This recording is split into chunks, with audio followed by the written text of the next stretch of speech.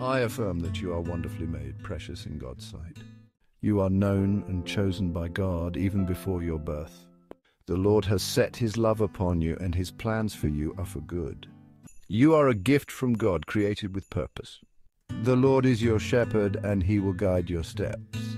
Psalm 23, verse 1. You are a creation of God's handiwork, designed for good works. Ephesians 2, verse 10. The Lord will surround you with his favor as with a shield. Psalm 5, verse 12. God has formed you in secret, skillfully wrought in the depths of the earth. Psalm 139, verse 15. The Lord has plans to prosper you and not to harm you, to give you hope and a future. Jeremiah 29, verse 11. You are a child of promise, blessed and highly favored. Galatians 4, verse 28. God's Spirit is already at work within you, shaping your destiny. Philippians 2:13. You will grow in wisdom, stature, and in favor with God and man. Luke 2:52. The Lord is your strength and your song. He has become your salvation. Exodus 15:2. You are filled with the Spirit of God, who grants you wisdom and understanding, as it says in Isaiah 11, verse 2.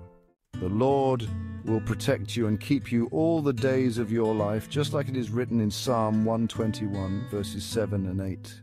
God's hand is upon you, guiding you in all your ways, as Psalm 32, verse 8 reminds us. You are blessed in the city and blessed in the country. Deuteronomy chapter 28, verse 3.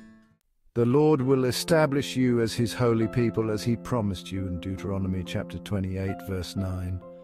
You will be the head and not the tail, above and not beneath. Deuteronomy chapter 28 verse 13. You're clothed with strength and dignity and you will laugh without fear of the future. Proverbs 31 verse 25. You are fearfully and wonderfully made, God's marvelous creation. Psalm 139, verse 14. The Lord's plans for you are good to give you a future filled with hope. Jeremiah 29, verse 11. You are a royal priesthood, a holy nation, God's special possession. God's word will be a lamp to your feet and a light to your path. You are a chosen generation called forth to declare the praises of God. The Lord will bless your coming in and going out now and forever. Psalm 121, verse 8. You are filled with all the fullness of God. Ephesians 3, verse 19. God's grace is sufficient for you, his power made perfect in your weakness. 2 Corinthians 12, verse 9. You will be strong and courageous, for the Lord your God is with you, as it says in Joshua chapter 1, verse 9. You'll grow in favor with both God and man, according to Luke chapter 2, verse 52. You are surrounded by God's angels who will protect you in all your ways, as written in Psalm 91, verse 11. You are created in the image of God, reflecting his glory, Genesis chapter 1, verse 27. The Lord has written your name in the palm of his hand, Isaiah chapter 49, verse 16. You will walk in God's wisdom and understanding all the days of your life.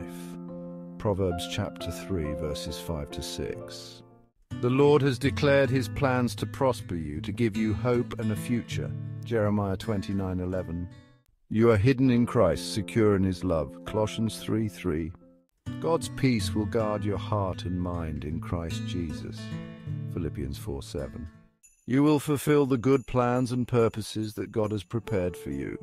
The Lord will keep you in perfect peace as your mind is steadfast on him.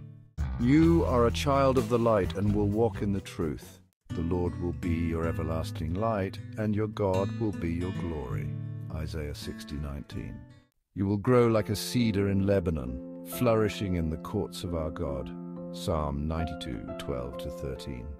God's love for you is everlasting. He has drawn you with unfailing kindness. Jeremiah 31:3. The Lord will be your confidence and will keep your foot from being caught, as it says in Proverbs chapter 3, verse 26. You will experience the joy of the Lord, which will be your strength, just like it says in Nehemiah chapter 8, verse 10. God has not given you a spirit of fear, but of power, love, and a sound mind, as written in 2 Timothy chapter 1, verse 7. The Lord will fulfill his purpose for you. His love endures forever. Psalm 138, verse 8. You will be like a tree planted by streams of water, yielding fruit in its season. Psalm 1, verse 3. The Lord will be your everlasting light, and your days of sorrow will end. Isaiah 60, verse 20. You are precious in God's sight, honored and loved. Isaiah 43, verse 4.